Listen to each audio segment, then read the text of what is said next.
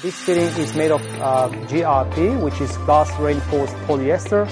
It's not as heavy, so it comes with this with this key, which uh, gets in here, and that's how you unlock it.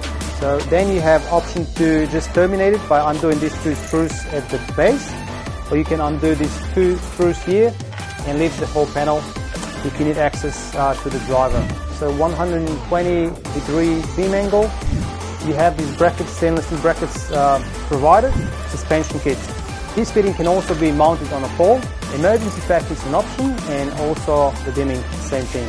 This fitting has 1200 hour uh, salt spray test and also 3G vibration test. Uh, in terms of wattage, uh, four different wattages available. So we have specialized um, blends as well. They have to be certified for hazardous areas. Uh, they're made of stainless steel and uh, they have longer threads than normal.